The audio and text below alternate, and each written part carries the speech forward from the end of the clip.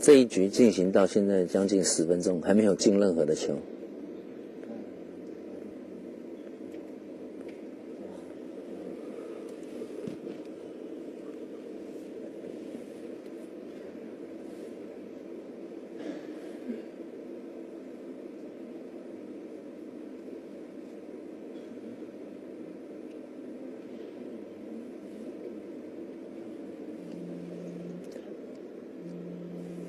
解球的方式有两条路线啊，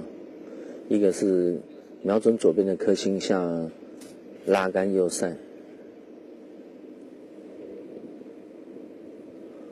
这个球选择短杆跳球啊，可能观众会觉得很纳闷，说这个短杆跳球要怎么打？这两种方式，一种是刚刚好跳过三九打中一号球啊，这样非常精准；另外一个是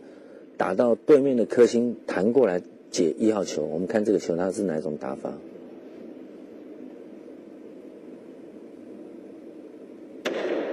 直接打中一号球，这球难度非常高，这是非常难打的一个跳球。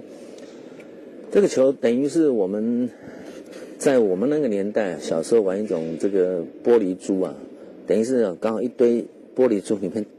直接飞起来打中那一颗。要打的那个球，哇，这个难度很高，这难度非常高。